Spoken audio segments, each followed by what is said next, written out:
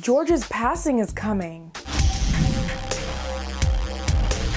Welcome to Screen Rant News. I'm Sade Spence. Young Sheldon star Raegan Revord confirms George passes away in the Big Bang Theory prequel. Adult Sheldon's father wasn't around in the Big Bang Theory because he had already passed away. Now, young Sheldon's on screen sister confirms the sad fate is nearing after a fan tweeted their love over Missy and her father's sweet bond, writing Missy and George's relationship is beautiful. We will all be destroyed by her reaction. Revord responded with a retweet, adding, I'm already destroyed and it hasn't even happened yet. The Big Bang Theory depicted Sheldon's thoughts on his late father, who he had caught cheating on his mother, but not on how the rest of the family felt about George's passing. Looks like fans will get to see a more intimate look on how the Cooper family deals with such a big loss. For all of your latest movie and TV news, check out Screen Rant. I'm Sade Spence. Thank you guys for watching. I'll see you guys next time.